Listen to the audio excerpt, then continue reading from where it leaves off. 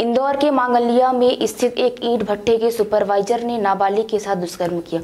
नाबालिग यहाँ पिछले कई माह से काम कर रही थी। बताया जाता है कि पीड़िता के बड़े भाई ने भट्टे के सुपरवाइजर से पच्चीस हज़ार रुपये उधार लिए थे जिसे वह दे नहीं पा रहा था। इसके चलते आरोपी ने दबाव बनाकर पीड़िता के साथ रेप किया। टीआई ज्योति शर्मा के मुताबिक नाबालिग गुरुवार रात थाने पहुँची थी। उसने बताया कि वह मांगलिया में अपनी सहेली के साथ ईट भट्टे में काम करती थी। यहाँ उसके साथ संतोष राठौर ने दो मई की रात को दुष्कर्म किया और किसी को बताने पर जान से मारने की धमकी दी। पीड़िता से शुरुआती पूछताछ में यह बात सामने आई है कि उसे छह माह पहले मांगलिया के ईट भट्टे में काम के लिए देवास के पास कन्नौत लेकर आया था। यहाँ भाई को संतोष ने कुछ रुपए उधार लिए थे, जिसके एवज में वह यहाँ काम कर रही थी। उसे अन्य मजदूरों की तरह यहाँ दोनों टाइम का खाना और मजदूरी भी मिल रही थी। नज़दीक ही झोपड़ी बनाकर दी गई थी, लेकिन कहीं आने जाने की अनुमति नहीं थी। पीड़िता ने बताया कि आरोपी पहले भाई पर रुपए को लेकर दबाव बना रहा था। उसने कहा था कि जब तक रुपए नहीं मिलेंगे तब तक उसे काम करना होगा और कहीं जाने नहीं देगा। इसके बाद दो मई को रात में संतोष पीड़िता के पास पहुँचा और उसे झोपड़ी से कुछ दूर ले जाकर उसके साथ गलत काम किया। उसने किसी को यह बात बताने पर जान से मारने की धमकी भी दी।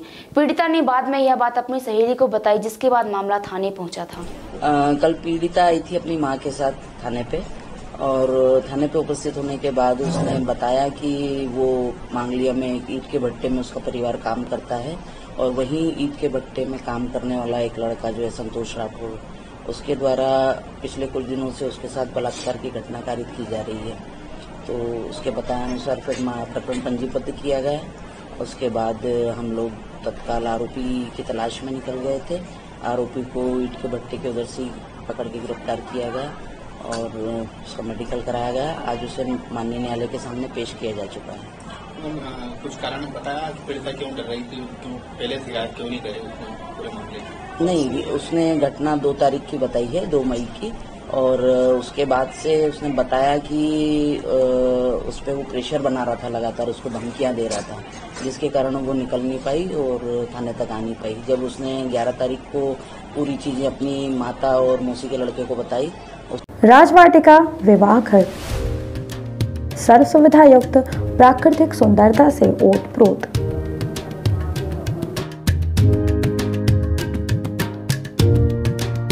राजवाटिका विवाह घर में इंगेजमेंट तिलक, शादी रिसेप्शन वेडिंग शूट जन्मदिन पार्टी जन्माशा सहित अन्य कार्यक्रमों के लिए विवाह घर उपलब्ध। अपने मांगलिक कार्यक्रमों को यादगार बनाएँ शहर के मध्य वातानुकूलित राजवाटिका मैरिज गार्डन के साथ। हमारा पता है, Rajvatika marriage garden, national highway, Jula Mod, Bhundaha, Rewa. अधिक जानकारी के लिए संपर्क करें nine eight two seven zero zero four two five one.